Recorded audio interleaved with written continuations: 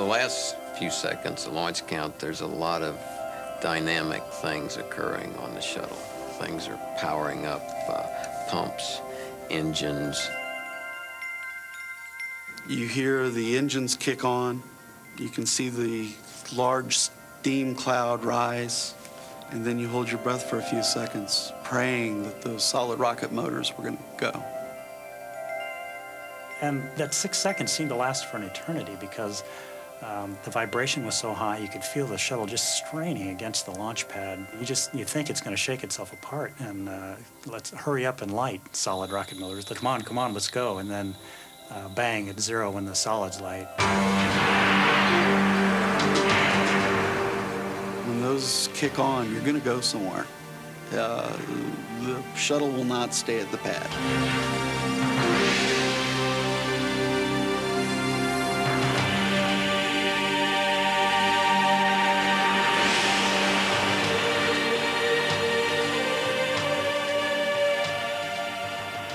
What powers the thing uh, is, is the absolute feeling and the love that the people have here at the center, from the people that work with the wrench to the people that work with the paper, the people that really feel like they're almost physically pushing it off the pad. And their hearts go with it every time. And it's as if it's an absolute member of, of their family, if not a part of their, their being.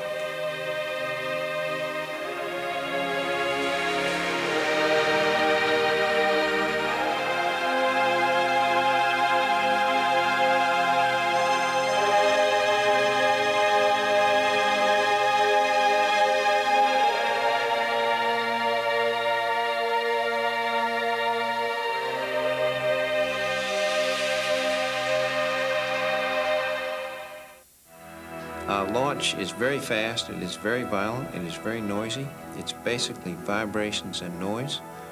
I'm scared of launches, I'm scared to death of launches. I really don't like doing them, but I accept them, and I accept that risk. Uh, space is my calling.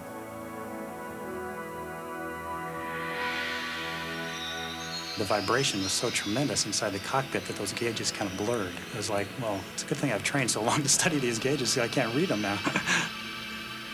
In the space of about a minute and 45 seconds, we're traveling faster than the fastest rifle bullet. We're above Mach 3. What will we do if we lose an engine at this point? Will we return to Kennedy or will we continue to Africa?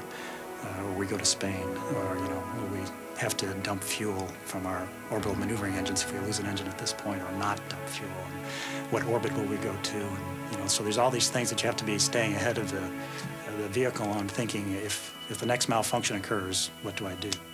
After two minutes and 12 seconds, uh, you're off the solids and you're onto, onto the main engines. That's a smooth ride.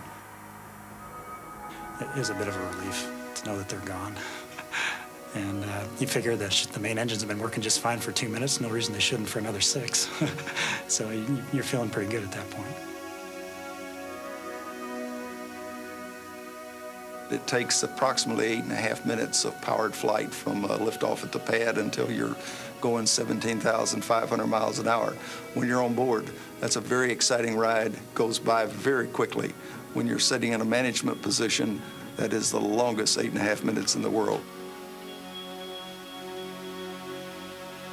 I said, Ellen, Ellen, I can actually see the sky turning black. Ellen said, great, and Don said, uh, what are the engines doing? And I came back in and I looked and I said, Don the engines are great. Ellen, I can it's really black now because I was so excited.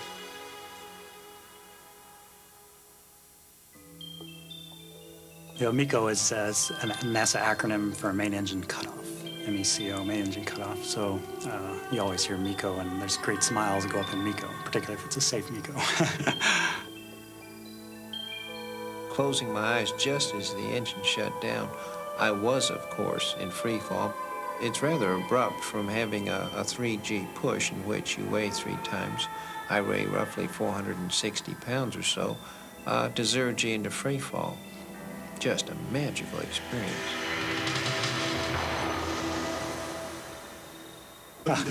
it's you know it's euphoria on board. It's euphoric. There's just the whole crew who lets up a cheer.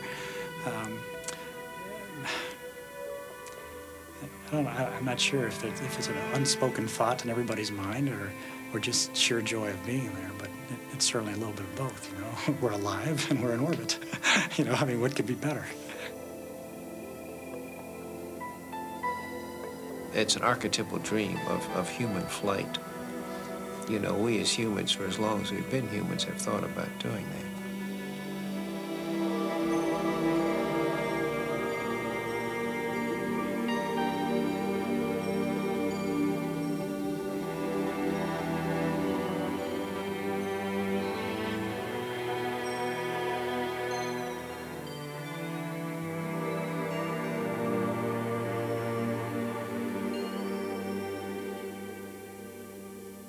An insurance salesman called me up. I surprised him. I said, "Yes, I am interested in life insurance." What he called, and uh, he said, "Oh, great! You know, I could tell. Was, it's probably the one in a hundred that he'd got that day." And I said, "How old are you? You know, and do you smoke? No, no. Good physical condition? Yes, yes, yes. You know, and great, great. And what's uh, what's your occupation?" And I said, "Well, I'm an astronaut."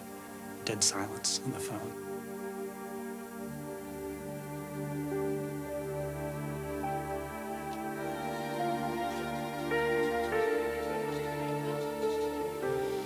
Without a doubt, the hardest part is what I do what I enjoy doing. Is it worth the risk to my family? Because I love my family dearly, and uh, I have three small daughters, you know, a four-year-old, a two-year-old, and a six-month-old now. And, and uh, when you kiss them goodbye, um, seven days prior to your scheduled launch, as you go into quarantine, because you're not allowed to see your children in quarantine, uh, that's a difficult night.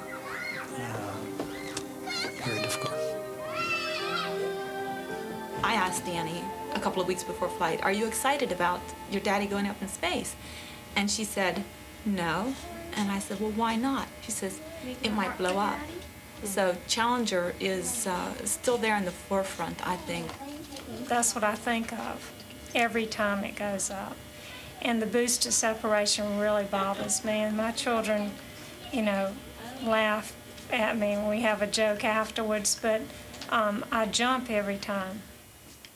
Seeing that shuttle going up is like amazing to me because you're watching all this um, power just push this tremendous um, shuttle into the air and it starts to hover, hover at first and it seems like that's the only thing you care about in the world right now.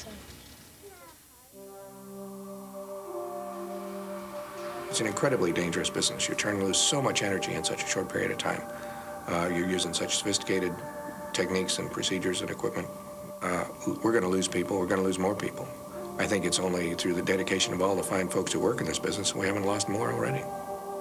Personally, on that day, I was sitting next to the to the person who had the responsibility for launch director, and and we saw the Challenger destruct in front of us, and uh, it's a moment that those on the team and those that saw it, of course, will never forget.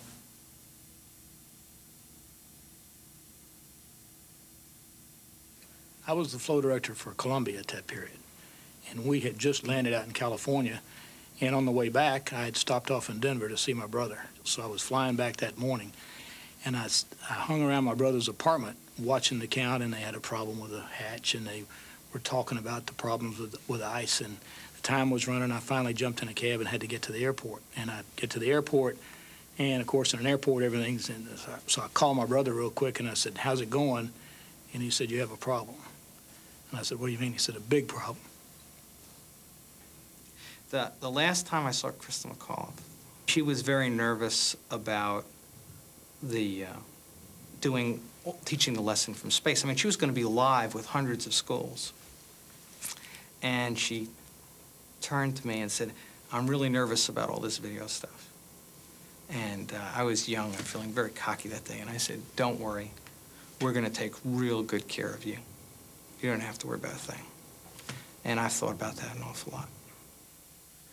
I was at my boss's office. We gravitate to some place where there's a television when it finally comes down to the last few minutes of the count. And uh, we were sitting there watching many secretaries and other people in the room at the same time. And, and when the spacecraft disappeared uh, in the explosion, of course, no one knew for sure what happened. But they were saying, uh, oh, the SRBs have separated, you know. And, and at that moment, you could see a couple of SRBs wandering off on their own. And uh, my boss and I looked at each other, you know, and it was, there was no word spoken. I mean, we just knew that uh, we were in deep trouble, that, uh, that that crew was gone.